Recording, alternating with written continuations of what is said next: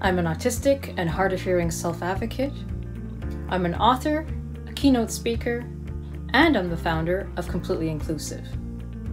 I help CXOs and business leaders create completely inclusive workplace environments. If they're lacking workplace diversity and wondering how to improve their profitability and employee retention, that's where I come in to help with their long term business strategy. I only got my diagnosis of autism uh, as an adult after my son was diagnosed. And I got heavily into the advocacy community.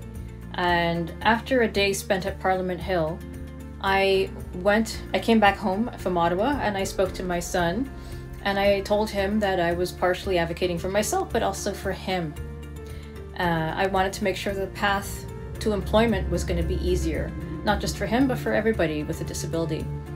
I do know that while change is very slow, it is making a difference.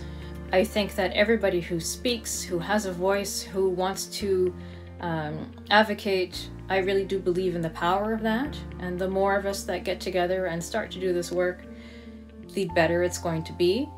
I'm starting to create environments where people are able to start to bring their whole selves to work and where difference is appreciated.